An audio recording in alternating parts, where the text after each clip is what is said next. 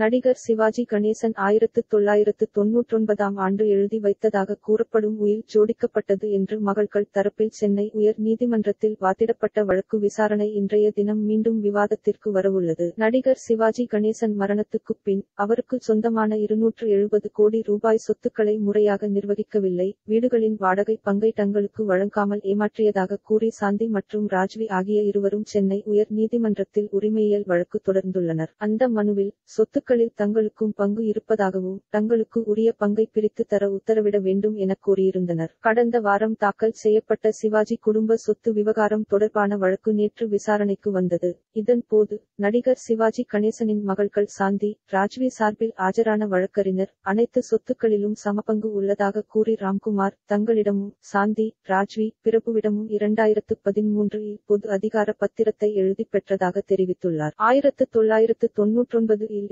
எழுதப்பட்ட பதிவு செய்யப்படாத நடிகர் சிவாஜியின் உயில் இரண்டாயிரத்து இருபத்தொன்று இல் தான் வெளிவந்தது எனவும் அதில் தங்களுக்கு சொத்தில் உரிமையில்லை என கூறப்பட்டுள்ளதாகவும் உயிலை மெய்ப்பித்து சான்று கோரிய வழக்கு நிலுவையில் உள்ளதாகவும் குறிப்பிட்டார். நடிகர் சிவாஜி கணேசன் எழுதியதாக கூறப்படும் உயில் ஜோடிக்கப்பட்டது எனவும் உயில் சட்டப்படி மெய்ப்பித்து சான்று பெறாததால் அது செல்லத்தக்கதல்ல என்றும் சாந்தி மற்றும் ராஜ்வி தரப்பில் வாதிடப்பட்டது. பாகப் பிரிவினை கோரி கடந்த இரண்டாயிரத்து இருபத்தொன்றாம் ஆண்டு அனுப்பிய நோட்டீஸுக்கு அளித்த பதிலில் தான் ஆயிரத்து தொள்ளாயிரத்து தொன்னூற்றொன்பதாம் ஆண்டு சிவாஜி கணேசன் உயில் எழுதி வைத்துள்ளதாக முதல் முறையாக தெரிவித்ததாகவும் தெரிவித்தார். சாந்தி தியேட்டரில் இருந்த தந்தை சிவாஜியின் ஐம்பது சதவீதம் பங்குகளும் தாய் கமலாவின் ஐம்பது சதவீதம் பங்குகளும் முறைகேடாக ராம்குமார் மற்றும் பிரபுவின் மகன்களின் பெயருக்கு மாற்றப்பட்டதாகவும் கூறினார். வழக்கில் சாந்தி மற்றும் ராஜ்வி தரப்பு வாதங்கள் முடிவடையாததால் விசாரணை தள்ளி வைக்கப்பட்டுள்ளது. அந்த வழக்கு இன்று மீண்டும் விசாரணைக்கு எடுத்துக் கொள்ளப்பட உள்ளது. சிவாஜி குடும்ப சொத்து விவகாரம் தீவிரமடைந்து வருவதால் கோலிவுட்டே பரபரப்பாகி உள்ளது.